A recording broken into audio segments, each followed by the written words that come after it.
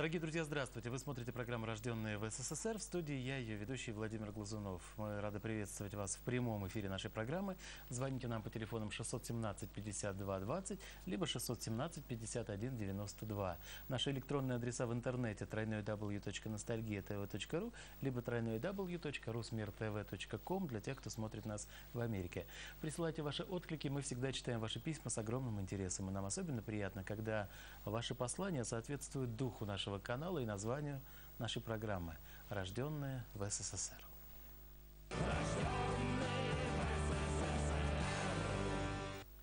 Его почти полувековая карьера дипломата отмечена знаменательными вехами в международных отношениях. В системе МИД он начинал работать еще в конце 50-х. Был ассистентом Громыка и заведующим протоколом, когда Никита Сергеевич Хрущев стучал ботинком по столу в штаб-квартире Генеральной Ассамблеи. Мой сегодняшний гость занимал должность заместителя министра иностранных дел страны и 9 лет возглавлял Женевское представительство ООН. Итак, сегодня у меня в гостях известный дипломат Владимир Петровский. Владимир Федорович, здравствуйте. Добрый вечер. Здравствуйте. Как настроение? Настроение хорошее. Это самое главное. Оно создает хороший тон. Главное, что есть возможность участвовать в процессе Ага. дискуссий, тем более, что мир быстро меняется. Мир меняется очень быстро. Сегодня совершенно другой мир, нежели вот тот, о котором мы, наверное, будем большей части вспоминать. Мы, рожденные в СССР, я имею в виду. Насколько мы радикально изменились, на ваш взгляд? Ну, С периода Советского Союза. конечно, изменения произошли колоссальные. То есть мы живем сейчас не только в новой стране, страна новая, но и мы живем и в совершенно новом мире. В новой, как говорят специалисты, международной архитектуре. Употребляем те же слова, а за словами стоит новая реальность. Сегодня, как и прежде, главным действующим лицом остается государство. Государство по-прежнему играет активную роль. Но, надо сказать, государство уже не те. Из 192 государств э, примерно 60 государств считаются несостоявшимися, только не в состоянии выполнять свои функции, обеспечивать свою работу и так далее. Ну вот наше отношение к этому государству наверняка тоже меняется со временем, да, меняется радикально. Вот я имею в виду тот период даже, когда не стало вдруг Советского Союза. Казалось бы, мы э, все были против этого события, да? Очень многие под- не поддержали э, то, что происходило в верхах, то, что нам диктовала номенклатура тогда. Тем не менее, страны не стало. Что случилось? Почему?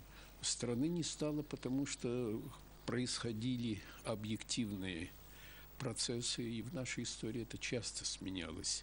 Одна, так сказать, структура менялась на другую, потому что сложившаяся тогда государственная система, вернее, даже идеологически государственная система, не вписывалась в рамки нового, возникающего, взаимозависимого, глобализирующегося мира. И, конечно, требовался новый подход. Но речь шла о том, речь шла о том, как бы сохранить нам наше общее пространство. Что было очень главным, мы создали общее экономическое пространство и общее пространство для жизни людей. Но, к сожалению, сохранить тогда это общее пространство не удалось. А сегодня, сегодня это приобретает особое значение. Тем более сейчас, оглядываясь назад, видно, что вся наша история при всех ее колебаниях была направлена в сторону интеграции. А в взаимозависимом мире интеграция приобретает особое значение. Сейчас прозвучит традиционная визитная карточка. Зрители будут фотографии смотреть, я читать. Вы меня потом поправите, если в каких-то моментах биографии я ошибусь. Хорошо? Итак, Владимир Федорович Петровский родился 29 апреля 1933 года в Сталинграде. А, В 1957 году закончил МГИМО, защитил диссертацию по международному праву, а позже докторскую по истории. С 1957 года работает в системе Министерства иностранных дел. Начинал дипломатическую службу сотрудником постоянного представительства СССР при ООН в Нью-Йорке и закончил на посту первого заместителя министра.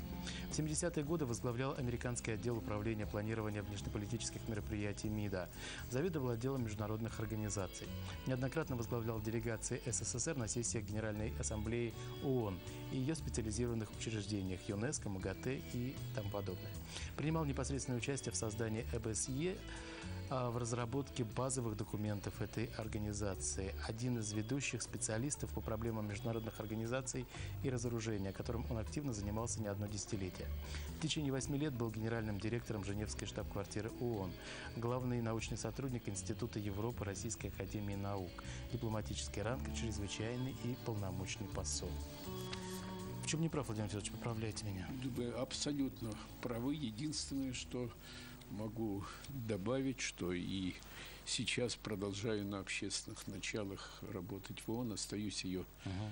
консультантом по научно-исследовательским проблемам. Есть такой центр в Женеве, и вот мы сейчас активно продвигаем э, идею, как применить дипломатию, не только как это было традиционно uh-huh. для профессионалов, но дипломатия сегодня нужна и во всех других сферах взаимодействия не только государств, но и гражданского общества, частных структур uh-huh. тоже.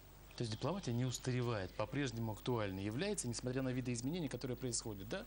Сегодня же по-другому дипломаты информированы, в конце концов, по-другому, да? Я имею в виду, вот сейчас новые технологии появились, да. вы сами понимаете, о чем да. я говорю, интернет, новые средства связи, абсолютно доступная информация по телевидению, чего раньше не было в пору вашей да. деятельности, да? Совершенно верно. Изменилась обстановка, изменилась новый мир. Конечно, научно-техническая революция привнесла колоссальные изменения. Но дипломатия была и остается инструментом переговоров. Uh-huh. Инструментом переговоров не ради переговоров, а ради достижения компромисса. Uh-huh. Сегодня поиск компромисса в новом мире, основанного не на балансе сил, как это было раньше, а на балансе интересов становится главным занятием всех кто вовлечен в этот процесс. И что очень интересно, надо сказать, если посмотреть на дипломатию, ведь дипломатия тоже развивалась применительно к меняющемуся миру. Uh-huh. Дипломатия сначала появилась на двустороннем уровне, в двусторонних отношениях. И только во время Венского конгресса в 1815 году возникла многосторонняя дипломатия, а сегодня многосторонняя дипломатия становится главным инструментом, где работают механизмы поиска компромиссов и достижения балансов интересов, потому что двусторонняя дипломатия все более и более занимается, э, смыкается с правовыми вопросами, скорее, чем с переговорами. Хорошо, да, и о компромиссах, и о переговорах, о достижении в переговорах этих компромиссов, и о жестких, э, и о гибких компромиссах. Мы с вами поговорим чуть позже, и о проблемах дипломатии в том числе, поскольку это увлекательный, безусловно, предмет. Сама дипломатия я имею в виду. Но у нас вначале есть традиция, наши гости о чем-то спрашивают, зрительскую аудиторию. Задают какой-то свой, желательно, конечно, ностальгический вопрос. Спросите, Владимир Федорович, наших зрителей о чем-то сейчас? Я бы спросил наших зрителей об одном вопросе, поскольку uh-huh. меня это как дипломата и как международника очень интересует. Э, как воспринимались международные отношения в годы холодной войны uh-huh. и как виделось поддержание мира и обеспечение безопасности в те годы и как это видится сегодня. Uh-huh. И так как воспринимались международные отношения в годы войны... Э, в годы холодной войны. В годы холодной войны, да. Э, телефон 617-52-20, 617-51-92. Кроме того, выдающемуся дипломату вы можете адресовать любые свои вопросы. Если вдруг э, о проблемах мира или э, проблемах холодной войны, дипломатии и так далее не хотите с нами рассуждать, то, Владимир Федорович, любые свои вопросы задавайте. Я думаю, в течение оставшихся 50 минут он с удовольствием на них ответит. Для меня очень странно, что был период, когда вы э, Организации Объединенных Наций меньше всего интересовались. Был такой период в вашей жизни? Вы знаете, я пришел в дипломатию, так сказать, э, будучи заинтересованной этой темой еще в школе, uh-huh. потому что была война, я учился в школе, когда была война, естественно, как многие мои соклассники, все мы очень интересовались литературой о войне, читали нашу литературу, потом кончилась война, очень увлеклись мемуарами, появившимися. Но в это время, после войны, впервые в Советском Союзе стали издаваться книги, переводиться книги иностранных авторов по дипломатии. И были опубликованы книги вот английских авторов Сатоу, Никольсона, француза Жюля Камбона. Я прочитал эти книги и просто был совершенно заворожен, потому что для меня, который большую часть жизни провел в провинции, все это казалось совершенно каким-то недостижимым, непонятным. И меня заинтересовала особенно дипломатия как процесс, процесс достижения переговоров и так далее. И поэтому я решил Ага. поступать в ИМО. Кто-то из дипломатов, уже не помню кто, некоторое время назад мне рассказывал, что на него тоже очень сильно повлияла Великая Отечественная война. Сами немцы повлияли как таковые. Очень хотелось узнать эту нацию глубже. Совершенно верно. Это одна была из сторон. И тоже очень хотелось узнать и наших союзников. Да-да-да, как да. они действовали, как это могло получиться, что было столько много разногласий, войн даже с э, нашими союзниками некоторыми до Второй мировой войны. А потом пошел дипломатический процесс. Это казалось очень увлекательным. Тут вышла как раз история дипломатии, и появились вот эти книги о технике дипломатии. Поэтому после окончания школы Мгм. ну, мне повезло, я кончил школу, правда, с серебряной медалью, но я был тогда в Москве, и это был беспрецедентный случай в 1951 году. Я написал сочинение какое-то об Маяковском и его борьбе за мир, Мгм. и это сочинение признали каким-то очень Да? таким удачным, и я от имени выпускников впервые тогда, в 1951 году, выступал в колонном зале Дома Союзов. И после этого я поступал в МГИМО. Это, конечно, тоже облегчило все. Я как медалист Ага. поступил. Хорошо, человек, который занимается борьбой за мир, как только что Владимир Федорович сказал, на протяжении многих-многих лет, который с малых лет знает, что такое Великая Отечественная война. Вот для вас, наверное, и для вас, дорогие друзья, мы сейчас покажем сюжет, он напрямую связан с войной, о Сталинградской битве. Потом вернемся к разговору в студии.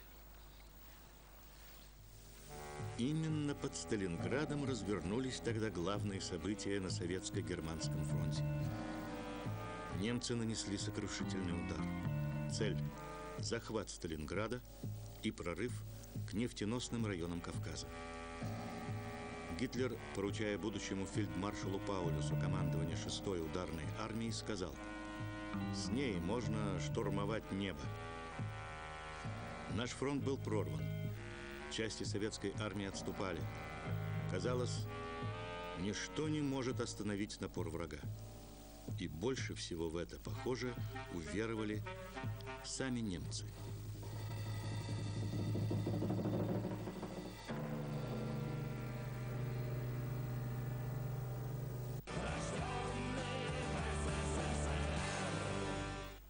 Так, рожденный в СССР Владимир Федорович Петровский в прямом эфире а, у нас сегодня находится. Телефоны 617-5220, 617-5192. В начале эфира вам Владимир Федорович задал уже вопрос, может быть, не все смотрят сначала, периодически он будет титрами внизу появляться. Как воспринимались международные отношения вами, как они воспринимались тогда, в годы Холодной войны, и как видели обеспечение мира и безопасности, да, наши Да-да. зрители?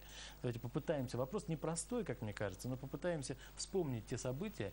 Э, В общем-то, не так много времени прошло, да? Что касается Сталинградской битвы, вы где в, в- в эти годы были? Сталинградская битва для меня, я скажу, очень близка, потому что я родился Да, в Сталинграде. в Сталинграде. тогда. Да, родился в ныне Сталинграде, но потом э, в 1936 году мы уехали из Сталинграда. Когда была Сталинградская битва, я был э, в Новосибирске коротко, но после войны случилось, что в Новосибирск приехал командующим Западно-Сибирским военным округом маршал Андрей Иванович Еременко.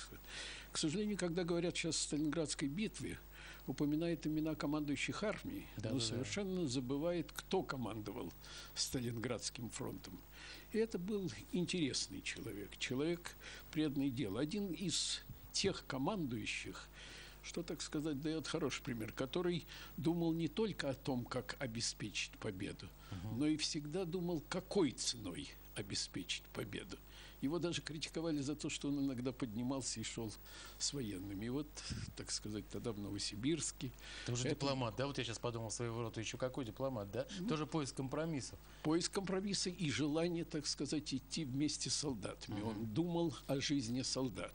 Для него имело значение какой ценой достичь да, этой победы. И он тогда был в Новосибирске очень большую роль играл, был очень популярен. Там же часто появлялся Александр Иванович Покрышкин, которого мы видели тоже. То есть это привлекло дух. И было очень интересно после этого, я говорю, посмотреть, как это делается в другой плоскости, дипломатической, которая полная противоположность военной. Что касается вот каких-то, если вспоминать о музыкальных пристрастиях того времени, я понимаю, что, может быть, сейчас что-то и не вспомнится уже, но тогда, вот, если сейчас мы вспомним музыку того времени, которая наигрывает, поет что-то там где-то по ну радио, ну, вот, это что? Ну, школьные, я помню, воспоминания. Дело в том, что в Новосибирске открылся театр оперы и, балет, и балета да. как угу. раз сразу после войны. И там находились и очень большое впечатление. Классическая музыка, Моцарта, Брамса производила. Поэтому, но особенно нравился и театр. В Новосибирске находился Ленинградский театр имени Пушкина, где играли Корчагин, Александровская ага. и Черкасов. Молодой Кадочников играл да, в Тюзе. Там, да, в и мы очень Тюзе. увлекались этим театром. Театром, музыкой, ну и картинные галереи тоже были. То есть для вас ближе все-таки литературное такое драматурги, драматическое творчество, нежели песня, как для таковая меня, певцы? Да, для, для меня как-то больше ближе э, литературное и художественное. Я очень люблю искусство, и поэтому даже вот когда был uh-huh. в Женеве, всегда, так сказать, поощрял культурные мероприятия. Потому что культура сама по себе очень важна. Культура, собственно говоря, и обогащает нас. Более того, мы говорим сейчас о единстве мира, но единство мира предполагает различие культур, потому что различие культур делает мир очень интересным, и нам интересно видеть единство через различие культур, то, что сегодня меняет. И больше того, я скажу, в практическом, в дипломатическом плане – культура всегда очень помогала. Вот э, сейчас там обсуждали историю советско-американских отношений в связи с юбилеями, но иногда забывает о том, что большую роль в продвижении дипломатических переговоров ага. сыграли культурные контакты. Ну, например, какие? Культурные выезды, выезды наших, наших звезд, да? Звезд, Когана, Э, Гиллельса, ага. приезды, это создавало определенную атмосферу. Ливанов приезжал, Борис Ливанов со своим театром в Нью-Йорк. Ну, вы со всеми перезнакомились, конечно, да, там, да? Ну, Или с кем-то подружились даже? Ну, встречались, виделись, так сказать. И это создавало новую атмосферу. Художники играли большую роль. Вот мы очень хорошо знали Давида ага. Бурлюка. Так получилось, что приезжал Корин, а моя жена работала Э, в обществе дружбы знал, и мы установили хорошие контакты, были с художниками. И это все помогало создавать атмосферу для дипломатических переговоров. Сначала культурная, потом. И когда вот я был во главе этой европейской штаб-квартиры в Женеве, я тоже очень активно поощрял культуру. По существу мы начали диалог там культурный в 92 году.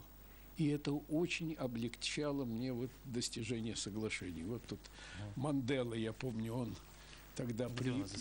приезжал, и он а, очень... Вот это вот, наверное, у меня, да? Вот они. Да-да, это Мандела. Вот с Манделой мы встречались, он очень поощрял и тоже считал, что для развития и понимания Африки очень важно знать, ведь тоже поражаюсь. Мы часто э, видим только через одну призму, а вы возьмите Пикассо – Пикассо все свои знания почерпал из африканской uh-huh. культуры в Нигерии. То есть культуры взаимообогащали. Ну вот сегодня, готовясь к этому эфиру, мы думали, что же Петровскому нравится из музыкальных каких-то вещей. С одной стороны, вроде бы молодой совершенно парень, 24 года в Америке оказались, да? Да, да. Оказывается, в эпоху там, вот конца 60-е годы, начало 60-х, это бум рок-н-ролла, да? Рассветал э, через какое-то время Битлз, Элвис Пресли, конечно, Ну, да? конечно, Элвис Пресли, Битлз. Ну, мы ходили на эти концерты, но я не скажу, что я был бы таким, как бы, uh-huh. восхищен. Мы ходили, ну, когда я приехал в Америку, нас интересовала культура, а второе, что меня всегда очень интересовало, потому что, в общем-то, я оказался на дипломатической службе по стечению обстоятельств. Меня интересовала наука очень. Я ага.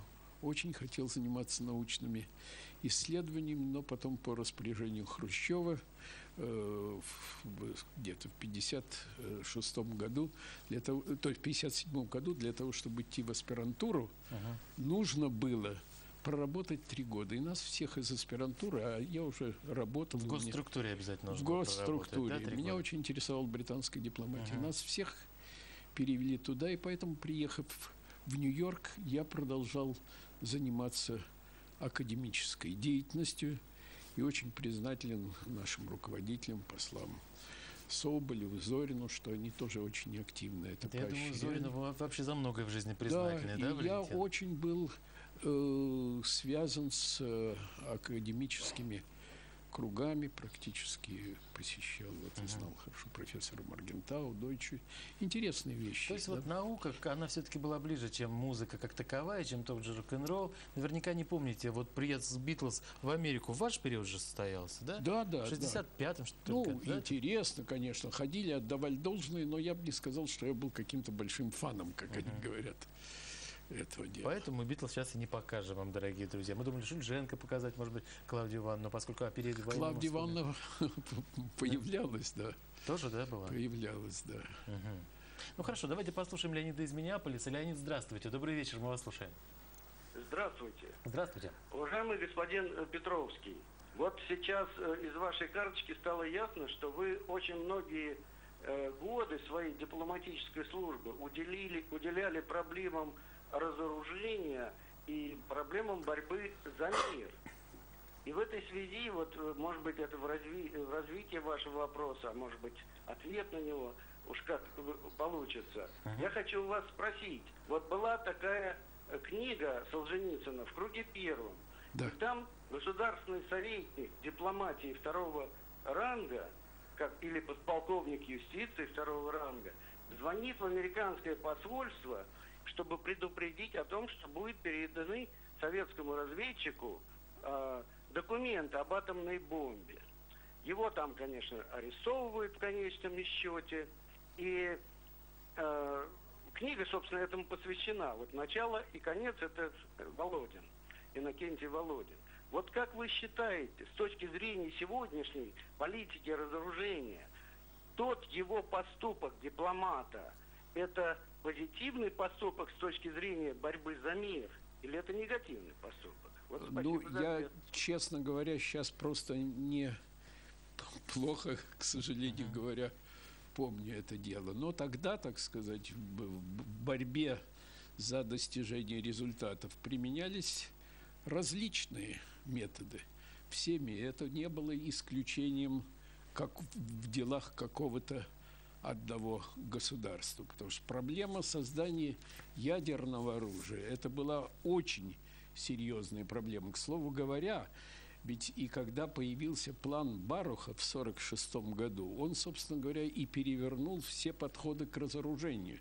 Ведь если вы посмотрите устав ООН, устав ООН упоминает о разоружении, между прочим, Косвенно, когда да. говорится в Совете Безопасности, угу. военно-штабном комитете. А главная концепция, содержавшаяся в уставе ООН, это регулирование вооружений. Что же получилось? План Баруха привнес идею контроля над вооружением. Это было вскоре после бомбардировки Хиросимы и Нагасаки, когда Москва приступила к созданию атомного оружия. И контроль над вооружениями, о котором мы часто говорим, но это была концепция Баруха, это напугало Москву очень страшно, потому что контроль над вооружением воспринимался как контроль над начавшимися секретно тогда еще работами по созданию атомной бомбы. Поэтому в ответ на контроль вооружений Москва стала делать акцент на всеобщем и полном разоружении. А сегодня, и вот говоря о разоружении, оглядываясь на весь опыт том числе и многосторонних переговоров, а надо говорить, здесь многое было достигнуто, особенно в 60-е, 70-е годы, и потом снова вот после окончания холодной войны процесс прошел, пока я был в Женеве, мы сделали, вот э, я же был генеральный секретарь конференции по разоружению, мы сделали два договора о запрещении э, химического оружия и запрещении ядерных испытаний в 96 году. То есть процесс пошел. Но сегодня, я считаю, очень важно возродить эту изначальную концепцию Устава ООН регулирования вооружений, имея в виду, что всеобщее и полное разоружение – это конечная цель, но до, до нее еще далеко идти. Если вспоминать начало периода вот этой гонки вооружений, когда все начиналось, Владимир Федорович? С чего все начиналось? С чего начиналась холодная война и гонка вооружений? Когда мы начали активно вот так бороться за мир?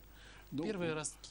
Гонка вооружений началась сразу же после окончания Второй мировой. Второй Мгм. мировой войны, и она была подстегнута идеологическими заявлениями. И, конечно, проблема создания атомной бомбы волновала очень всех. Она была. Но одновременно, одновременно в Москве и Москва, и дипломатия э, советская исходила из того, что нужно предпринимать усилия для того, чтобы ограничить как-то эту гонку вооружений, поставить в определенные рамки. И поэтому Организация Объединенных Наций, хотя там много делалось заявлений, иногда, так сказать, много слов было, но все это делалось для того, чтобы мобилизовать политическую волю на эти дела. И этим же целям, к слову говоря, содействовали и связи большие с академическим сообществом, которые тоже, ведь эти же академики первые сказали о том, какую угрозу Эйнштейн и все представляет атомные бомбы. То есть борьба началась скоро. Но самое главное, что меня всегда беспокоило, это часто случалось, что иногда у нас слова превалировали над делами.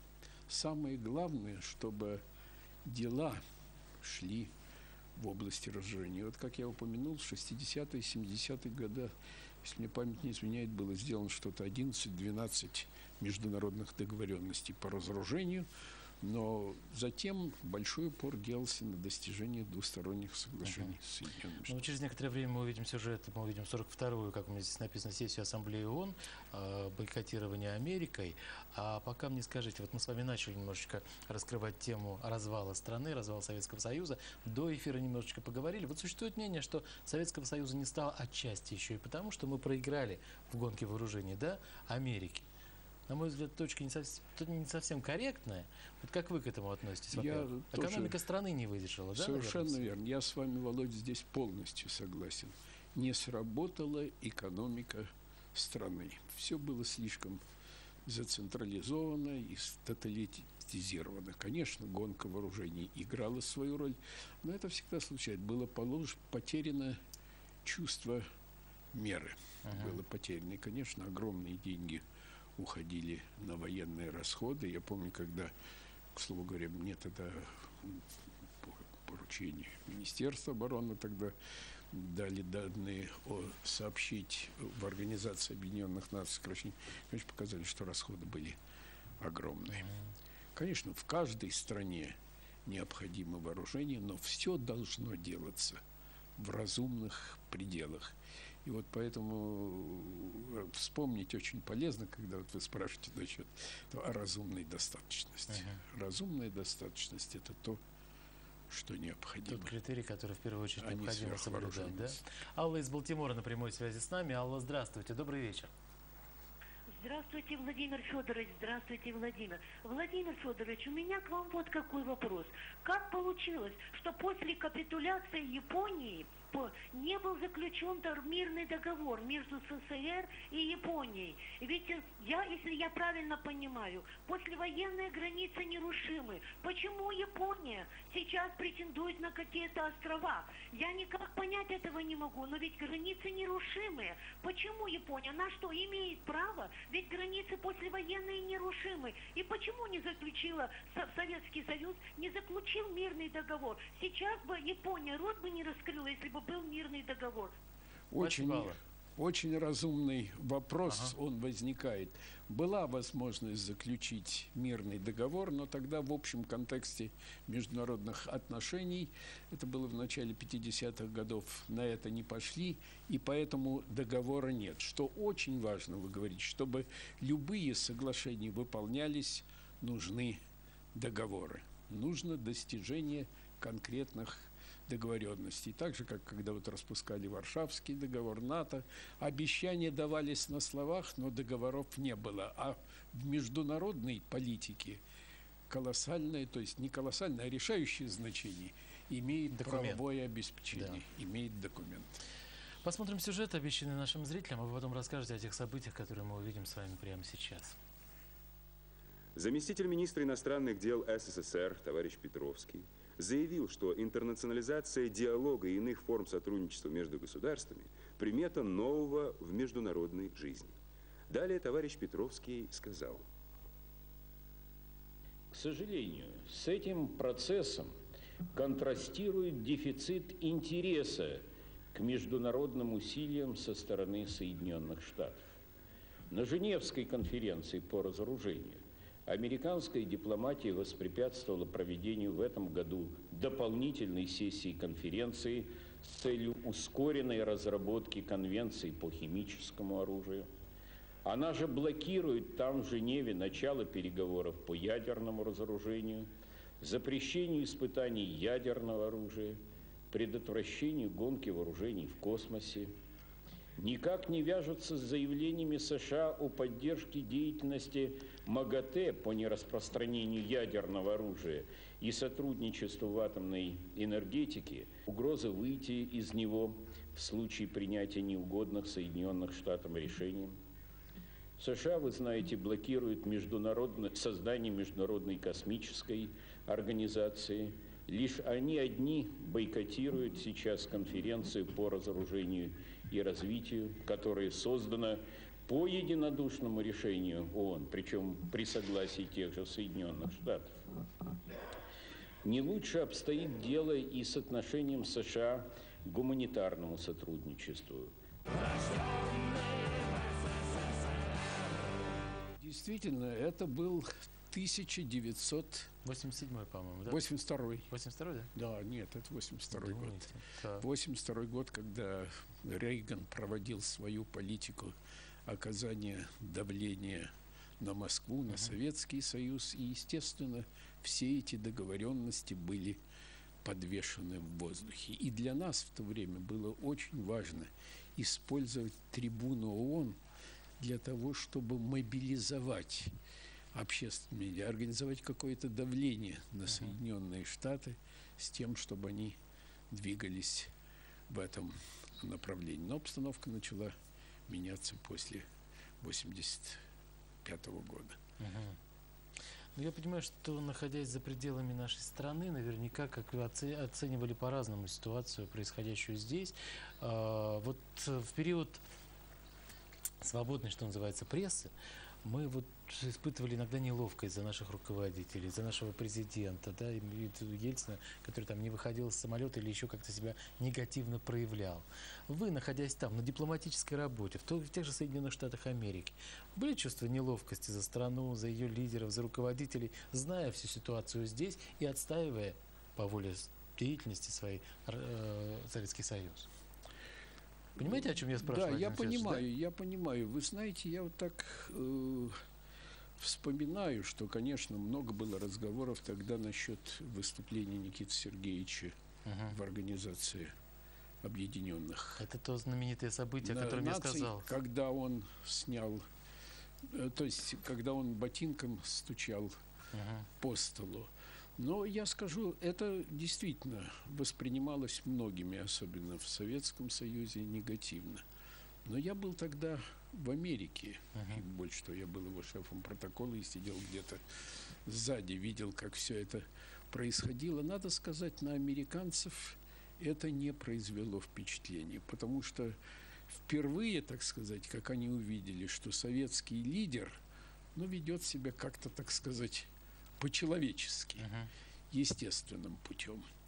Поэтому какого-то тогда вот личного у меня не было, и больше того, я То считаю, никакой прессинг на себе, как на шефе протокола тогда, вы не ощущали, да? никакого, ни, никакого не ощущал. Напротив, я считаю, что это было именно воспринято очень. Больше того, даже Да, после, вот это пора по- переходить к этой по- литературному после этого, значит, выпустили в Америку книжку «Who is in charge here?». Это были собраны официальные фотографии, и к ним делались какие-то приписки. И вот тогда в Нью-Йорке покажу зрителям. это э, получило большую известность. Вот это вот опубликована была фотография.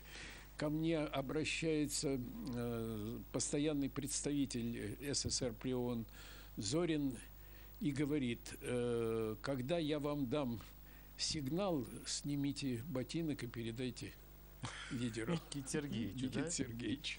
Ну, это я смотрю, в виде- Это было расклеено по всему Нью-Йорку, эта фотография. Ну, тут очень много. Это любопытная книжка, вышедшая в 60 Можно я году. проиллюстрирую Нет, немножко да. зрителям, покажу ее, да? Вот тут нужно вот так уже показывать, я смотрю, да? В виде комиксов она выпущена, да? Да, в виде комик. То есть брались реальные фотографии, а к ним делались какие-то шутливые... Ну вот тоже снимок с Никитой Сергеевичем мы видим, да? Нет, а, да, шутливые приписки делались. Я знаю, у вас есть какие-то интересные рассказы, анекдоты, связанные с Хрущевым. Это правда?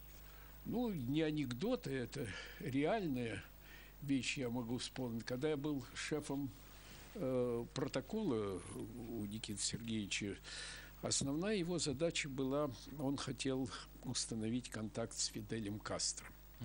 Фидель Кастро приехал на эту сессию, но тогда американцы создали много трудностей для него с размещением в отелях.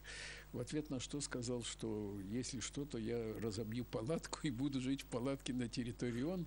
После этого его повестили в районе Гарлема, это негритянский район, тогда был на 125-й улице. И Хрущев поехал к нему навестить его, несмотря на протесты службы безопасности и так далее. А на другое утро, когда были в ООН, он мне сказал, договоритесь о том, чтобы я вот хочу устроить обед для Кастро, чтобы Кастро приезжал к нам на обед в 7 часов вечера на следующий день. Но оказалось, что Кастро был один, кто говорил по-английски, мы с ним договорились. И, значит, а в то время было около 50 глав государств. И где-то стали звучать машины уже где-то около чуть ли не полседьмого. Хрущев вышел, думал, едет Кастро. Все мы встали, тут стояло огромное количество прессы. Его стали спрашивать, 7 часов Кастро нет, 7.15 нет. Все уже начинают говорить, я даже слышу, там мои коллеги говорят, ну, он напорол, наверное, не договорился неправильно. Я звоню Кастро, Кастро подходит к телефону и говорит, да я вот сейчас выезжаю. И он приехал с 30-минутным опозданием. Был накал страшный. Все очень нервничали. Но потом Кастро подошел и когда увидел, сказал, комрад Хрущев, э, товарищ Хрущев, что тут нервничать? Мы же с вами партизаны. И поэтому действуем. Это сняло какую-то напряженность, последовал ланч и прошло очень хорошо. Но вообще была, конечно, напряженная обстановка. Я очень рад, у Хрущева был прекрасный переводчик э, Виктор Суходрев, вот он опубликовал Да, да, да, очень да, да. хорошую книгу. И Виктор всегда его переводил, а я, как шеф протокола, очень боялся, что мне придется его переводить, потому что переводить было очень трудно. И вот однажды... А почему трудно? Потому что язык у него Да, да, да. был, ну, необычный. Он употреблял такие разговорные формы, ну, вот известная Кузькина мать просто. Так, Но да. он мог употребить такие, которые, так сказать, ты не знал, как перевести на английский язык. Ну чего, как справлялись? Ну вот Вальдорф Астории как-то он ко мне подходит и говорит, я хочу Вот это, э, да, провести переговоры Давайте я буду с э, э, премьер-министром Израиля Голдой Мейер. Хотел встретиться, потому что у нас были очень сложные отношения. Все, найдите ее. Я нахожу Голду Мейер, подхожу к ней, говорю по-английски и с ужасом смотрю, что суходрева нет, и думаю, какой кошмар мне сейчас Переводить придется. придется Вот эту русскую народную речь. переводить, да. И вдруг она подходит и на прекрасном русском языке начинает разговор с ним. И эта вот фотография, она до сих пор в Тель-Авиве присутствует. Да? Свидетельство, так сказать, вот этой встречи, разговора. Это внесло большую разрядку. А вот это что за снимок? А это снимок, э, это принимал Хрущев тоже у себя. Это была очень интересная вещь. Значит, э, вдруг Хрущев э, говорит, что он... Это было, к слову говоря, 60-й год, первое совещание в верхах в Организации Объединенных Наций. И он говорит, я хочу устроить обед для всех глав государств, правительств и генеральных секретарей, которые приехали. Организуйте это дело. Значит, э, я, Андрей Андреевич мне говорит, вы проконсультируетесь с шефом протокола, а шефом протокола он был тогда бельгийский граф, очень опытный. Я к нему и говорю, слушайте, вот подскажите, как организовать просто рассадку. Он говорит, кто у вас, президенты, генеральные секретари, премьер-министр. Он говорит, у меня последний прецедент таких высоких, это еще с Венского конгресса идет. Но там были одни императоры. И здесь, говорит, он давать никакие предложения не может, потому что присутствуют генеральные секретари. И вот тогда я туда-сюда, мне сказали, вот ищи сам развязку. Я предложил тогда, ну давайте, я говорю, посадим по такому принципу. Сначала президенты, потом генеральные секретари, потом премьер-министр. Uh-huh. И надо сказать, этот прецедент был принят, и потом он пошел, а это вот как раз встреча гостей. В тот период времени, да? Да, тут Тита, Насер. А приходилось вот нашим зарубежным товарищам объяснять, почему э, у нас существует такая должность, как таковая, генеральный секретарь Коммунистической партии Советского Союза? Почему лидер страны является и лидером партии? Или вот таких вопросов ну, не такие задавали? вопросы, конечно, возникали, но все это объяснялось, так сказать, тем, что это были две совершенно различные системы, и лидер партии по существу являлся Ну, то есть там лидером, было понимание этого, да? лидером государства. Да, Давайте вернемся к Хрущеву через какое-то время. У меня тоже есть вопросы на эту тему, поскольку я знаю, что сам процесс назначения на должность руководителя протокола или там шефа протокола тоже ведь необычный. Там случай сыграл какую-то роль, да? да, но это был чистый случай. Значит, э, Хрущев ехал на сессию Генеральной Ассамблеи. У него был очень известный шеф протокола, очень опытный Федор Федорович Молочков. И вдруг из Москвы приходит телеграмма, что Молочков заболел, определите шефа протокола на месте. А постоянным представителем был вновь э, недавно назначенный Валериан Александрович э, Зорин. И он только что приехал, а я был всего-навсего атташе, но это самая младшая дипломатическая должность, но я работал как его помощник и, в частности, был вовлечен в организацию встреч с Лумумбой, с этими всеми делами. Он меня знал, и он сказал, что я вот получил такую телеграмму. Я вас знаю, на вас полагаюсь, но ни в коем случае не говорите, какую должность вы занимаете. Если спросят, скажите, что мой помощник. Вот таким Ну, образом. Признавайтесь, что вы аташе, да? Да, да, да, да, да, да. Таким образом, по знакомству вы были назначены, да, шефом протокола Хрущева, соблюдая вот это условие, да? Соблюдая это условие. Потому что он просто пока еще никого не знал из хорошо из персонала. Давайте примем звонок. Давно ждет Максим из Одессы. Максим, здравствуйте, добрый вечер. Сорвался звонок Максима. У нас 15 минут до конца эфира остается. 617 52 20, 617 51 92. Э, Вам доводилось работать в Министерстве иностранных дел из Громыка, конечно. Да, последние годы, уже будучи заместителем министра, были у Шеварнадзе. Да. Вы сейчас какой-то список доставили, с кем это доводилось еще работать? э, Сроки, сроки, когда А, они что-то. А когда это все происходило, Да, какие да, сроки? да, да. Может, про сроки я вас и не спрошу сейчас. Почему Шеварнадзе называли мистером «нет» там, А пределами? Шеварнадзе, то есть Шеварнадзе, О, э, Громыко, м, конечно. Громыко называли мистером нет, но это не значит, что он, как часто это интерпретируется, демол Громыко отрицал все переговоры. К слову говоря, мистером нет называли и Молотова. И Молотов был довольно жесток в этой позиции. Громыко же называли мистером нет, э, нет, потому что, когда начинались переговоры, он не сразу раскрывал все карты. Сначала он говорил карт, э, сначала он говорил нет, а потом начинал процесс переговоров.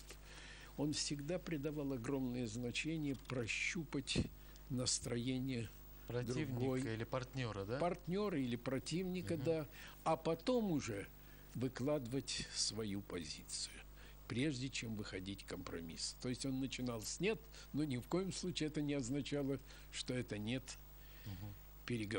Ну, И так он- партнеры ведь это уже знали, вот эту технологию ведения ну, переговоров. Знали, да? но понимали, что если они, он сказал нет, они ничего не скажут, то разговоров не получится. То есть здесь наверняка увеличивается сила убеждения какая-то. Да, увеличивалась слышишь? сила, сила убеждения, да, и поиск каких-то подходов, потому что, надо сказать, Громыко был человек всегда очень прямолинейный Ага. и был последовательный государственник. Школу дипломатии серьезную, хорошую прошли Школа- рядом я считаю, что это отличная школа дипломатии. Я четыре года работал у него помощником, и потом, когда был заведующим отделом, всегда проходил отличную, хорошую школу. И он учил всегда быть прямолинейным. Быть прямолинейным и до конца отстаивать свою линию. И что очень важно в дипломатии, никогда не лгать. К слову говоря, вот когда я читал эти английские книжки, я был поражен, что в одной английской книге говорилось, но это было определение, по-моему, если мне память не изменяет, где-то начало 19 середины 19 века. Вы по поводу того, что дипломат лжец по определению? да, что дипломат – это честный человек, который послан за границу лгать на благо своей родине. И я лично считаю, что это самое опасное в дипломатии заниматься ложью. Я даже помню, у нас бывали случаи, когда мне говорили, слушай, одному скажи одно, другому скажи другое. Это нельзя делать.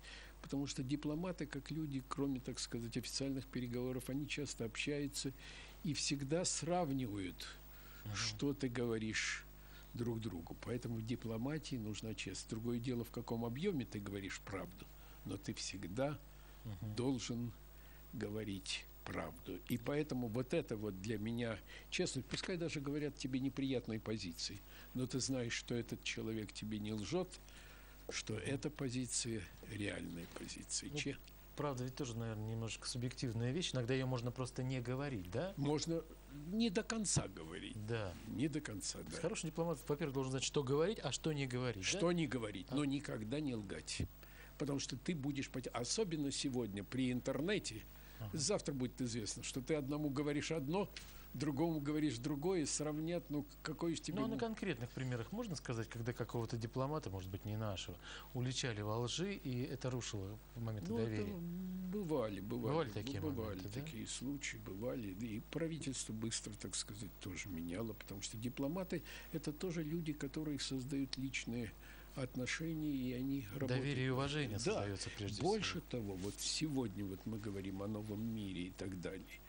Сегодня я, например, на это мое убеждение, я считаю, что нет стран, которые бы занимали какие-то, так сказать, там антиамериканские, антироссийские позиции. В каждой стране есть разные люди, и все зависит от того, с кем ты Вступаешь в контакт, дело, ведешь да. переговоры, да? Личностный фактор имеет большое значение. Давайте примем звонок Дмитрия с Украины. Дмитрий, здравствуйте, добрый вечер. Добрый вечер, Владимир Федорович. Э, Будьте любезны, скажите, пожалуйста, свое мнение личное. Это мнение страны под названием Соединенные Штаты или же, скажем, госпожи Олбрайт? Почему они хотят нас уничтожить, нас, Россию? Ну, я бы так э, Не были бы так категоричны? так бы категоричен не был. Уничтожить страну невозможно. Другое дело, что пытаются ее ослабить, сделать более слабой. Конкурентная борьба существует. Но какая конкуренция идет? Конкуренция должна вестись тоже, так сказать, методами с учетом реального положения. Я думаю, что уничтожить это было бы то слишком Ну сильно. хорошо, не будем так категоричны, как наш, наш телезритель, но смысл-то мы понимаем его мысль, да? И Смысл, направление да. мысли. Почему, спрашивает телезритель, ослабить интересы Ну, России? потому что Америка? э, есть в Америке есть определенная группа и определенная группа людей, которые очень заинтересованы сохранить не просто статус сверхдержавы, а сохранить роль гегемона. И это доказывает, к слову говоря, вот эту всю противоречивость позиций. Многие там кричат и говорят о демократии. Да, действительно, демократия. Но демократия на национальном уровне никак не совместима с гегемонизмом на международном уровне. Uh-huh. Гегемонизм – это прямое противоречие к этому. И сегодня нужно создавать новую систему международных отношений, которая была бы организована на новом управлении. Вот здесь я должен, сейчас я могу откровенно сказать, я считаю, это было совершенно странное выражение, которое было введено, что нужно организовать хорошее управление. Uh-huh. Ну, что значит хорошее управление? На хорошее управление могут претендовать и диктаторы, и кто угодно. Нужно четко говорить, какое управление мы сегодня говорим, нуждаемся в мире. И это для меня – во-первых, ответственное, а во-вторых, не просто демократическое, а конституционно-демократическое управление. И в мире есть своя конституция. Это конституция, устав Организации Объединенных Наций. Да? И нужно действовать в рамках этого устава. Mm-hmm. Это не значит, что устав, и тут бы я хотел сказать, не надо менять. Его нужно менять, нужно адаптировать, но не значит, что можно, так сказать, ломать э, приоритет права, содержавшийся, содержащийся. Владимир Федорович, ну вот вы сейчас немножко так вот в сторону, в сторону американскую повернули наш с вами разговор. Разумеется, дипломат – это человек, это прежде всего представитель своей страны, представитель того правительства, которое, интересы которого да. он осуществляет и представляет на территории там Америки или какой-то другой любой страны. Но, разумеется, мне кажется, существует такой, такое искушение вживания да, в страну. Вам это знакомо? Ну, конечно. Искушение колоссальное. Узнать и познать страну. Я помню, вот когда я приехал в Америку, я говорю, я был очень одержим идеей британской uh-huh. дипломатии, написал две книги. А вот приехав в Америку, и второй раз я там занялся серьезно изучением американской внешнеполитической мысли и вот написал свою докторскую диссертацию, занимаясь этим делом. Больше того, мысль и академическая мысль играет колоссальное значение для понимания политических процессов. А, подождите, а для, для, для дипломатов вживание в страну пребывания – это есть плюс? Я считаю, ну, что вы имеете в виду вживание? Вживание я под вживанием прежде всего. Ну, не только интерес, о котором вы говорите, я имею в виду, а еще и отчасти замыливание этих интересов э, того правительства, которое ты представляешь О, здесь, нет. и поддержка интересов той страны, в которую ты а, корнями Нет, нет, нет. В этом, в этом отношении, Володя, я с вами позволю не согласиться. Как раз каждый дипломат должен руководствоваться национальным интересом. интересом. Прежде всего, да? Прежде всего определить свой национальный интерес. Угу. Национальный интерес, который сводится не только к защите государства, но и к защите общества и прав личности. Определение вот этого национального интереса во всем этом объеме имеет колоссальный значение. Ну вот тоже, пожалуйста, иллюстрация момента вживания в страну мы видим здесь с вами, да? ее интересов. Это Клинтон, да? Да, Клинтон, она приезжала, когда вместе вот с ее супругом, они, они были в Женеве, и у нас были хорошие контакты, она всегда была очень открыта. То есть она тоже интересовалась. Люди, которые приезжают не только, так сказать, из дипломатии, но и из политики особенно, uh-huh. они всегда интересуются. Самое главное различить, что скрывается за словами, и почувствовать, какие реальные процессы происходят. Потому что в дипломатии много слов, но выявить реальность иногда очень трудно. И в этом отношении я должен сказать, вот вы упомянули Хиллари Клинтон, я помню, очень такие интересные с ней были разговоры. Вообще, я считаю, женщины сегодня могут сыграть очень важную роль вы сейчас политики. про какую страну говорите, Владимир Да я говорю в международном, международном плане, про все плане. В, в Женеве я имел прекрасный опыт с госпожой Брутланд, которая ага. возглавляла Всемирную организацию здравоохранения. А возьмите пример Казахстана. Первым министром иностранных дел там была э, Акмарал Арастенбекова. Ну и у нас тоже в России она очень, меняется потихонечку. И, и она очень, надо сказать, сейчас выступает не только как и дипломат, но и как очень крупный ученый, большой специалист по глобализации женщины, могут внести умиротворяющие сначала. Не случайно даже в некоторых азиатских странах говорят сегодня о необходимости возрождения матриархата для того, чтобы обеспечить, так сказать, плавную трансформацию глобализирующегося мира. Мы с вами поговор- совсем не поговорили еще с, об одном вашем шефе, я имею в виду министре иностранных дел Эдуарда Амросовича Шеварнадзе. Про Громыка немножко поговорили, а вот про этого человека почти и не вспомнили. Э, Пять лет вы работали, да, непосредственно лет, под его да. руководством, заместителем, да? Заместителем и первым замом был у него, да. Кто пригласил вас тогда быть э, замом у Шеварнадзе? Ну, это Сам? тогда было, да, предложено, когда он пришел, я был заведующий отделом международных организаций, а потом через, э, сколько, через год он выдвинул целый ряд новых замов, и я был в числе. Подозреваю, Их- что в те времена какая-то своя и достаточно серьезная осведомленность у Министерства иностранных дел была. Мы сегодня не смогли найти кадры, о которых я вам немножко начал рассказывать до эфира нашего, когда Шеварнадзе Да. уже так э, в сердцах сказал на трибуне, я вас предупреждаю, что будет переворот. В 90-м году, по-моему, он сказал и был прав. Вы, может быть, и не помните этого, но мог знать Шеварнадзе об этом или нет? Ну, знать мог чувствовать. Чувствовать. Мог чувствовать, да. Имея в виду, опять-таки, Да, экономическую мог ситуацию. чувствовать и экономическую, и нашу. политическую ситуацию, потому что, в общем-то, в Грузии тогда же начались уже большие события в Тбилиси, помните, были, только он мог чувствовать, и в конце 90-го года он ушел в отставку. Ушел в отставку, причем э, вы же видели с ним накануне, да? Накануне я с ним где-то уже поздно вечером разговаривал по прямому телефону, связи, но я должен сказать, я даже не почувствовал, что он уйдет. То, то, что он говорил там о наших делах, так как будто бы все продолжается. свой Если с путем. точки зрения международных отношений, с точки зрения дипломатических отношений, с точки зрения подхода в ведении переговоров и в поиске компромисса мы как-то охарактеризовали Громыка и сказали, что это мистер Нет, который вел переговоры таким образом, начиная с негатива и потом разворачивал ситуацию. Что можно сказать о Шеварнадзе? Это тоже наверняка школа работы была с ним, но другая, Ну, да? Другая, другая, но школа, так сказать, он сам учился. И я помню, когда он пришел в МИД, он собрал коллегию, я был членом коллегии, и он правильно сказал, конечно, говорит, мне трудно здесь заменить Громыка. Громыка был большой корабль, а я быстро ходящая лодка. Быстро. Понятно. У нас э, три минуты до конца эфира. Не могу вас не расспросить о совсем другой вашей деятельности. Мы об этом совсем не говорили, поскольку об основных э, работах, об основных вопросах вашей жизни сегодня больше говорим. Что касается вашей журналистской деятельности, ведь начинали тоже когда-то О, там? я начинал с журналистикой и очень увлекался, еще будучи студентом, писал вечернюю Москву, и потом, когда ушел.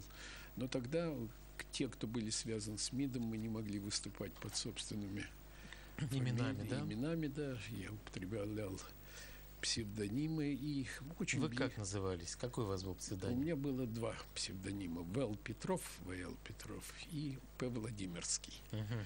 Вот. э, Я много писал в «Вечерней Москве», в «Известиях» и в «Новом времени», в «Новом времени» особенно активно. Ну и мы были близки с многими журналистами, и с Валентином Зориным, в частности. Не то, я что помню. близки, я знаю, что с Зориным вы создавали союз журналистов. Союз журналистов, да, создавали вот это отделение, потом часто общались в Доме журналистов, и надо сказать, это были не просто дружеские посиделки, это всегда были хорошие мозговые атаки. А для того, чтобы принять правильное решение, нужно иметь мозговую атаку. И вы знаете, принять правильное решение, нужно знать и противоположную точку зрения. Тогда вы легче вырабатываете свое собственное мнение. Просто нужно, обязательно нужно ее рассматривать и Обяз- иметь в а- виду. да? Обязательно. И журналисты тогда давали прекрасные было. У нас очень мало времени. Давайте быстренько примем- Станислав Кондрашов тоже был очень... Ага. вот сейчас, Галина из. Воскресенска. Галина, очень быстро ваш вопрос. Добрый вечер. Добрый вечер. Добрый, слушаем. Э, Владимир Федорович, э, здравствуйте. Э, Здравствуйте. Меня зовут. Галина Евгеньевна, и фамилия моя Петров. У нас несколько секунд. Так, Скажите, пожалуйста, вы знаете историю своей красивейшей фамилии? спасибо. Очень Ну, коротко. История, я представляю, ну, фамилия довольно распространенная. Вот. э, Ну, я-то сам происхожу из поколения железнодорожников. Железнодорожное Ага. несколько поколений железнодорожников. Но для меня моя фамилия представляет большую проблему в английских документах, потому что существует три различных написания. И у Да? меня даже специальная справка, что три различных ра- написания соответствуют одной и той же фамилии. Человек, имеющий три различных написания своей фамилии, железнодорожников, но выдающийся дипломат Владимир Федорович Петровский в прямом эфире был у меня сегодня. Спасибо вам большое сейчас за сегодняшнюю встречу. Приходите к нам в гости, пожалуйста, еще. Традиционно встречаемся завтра в 22 часа.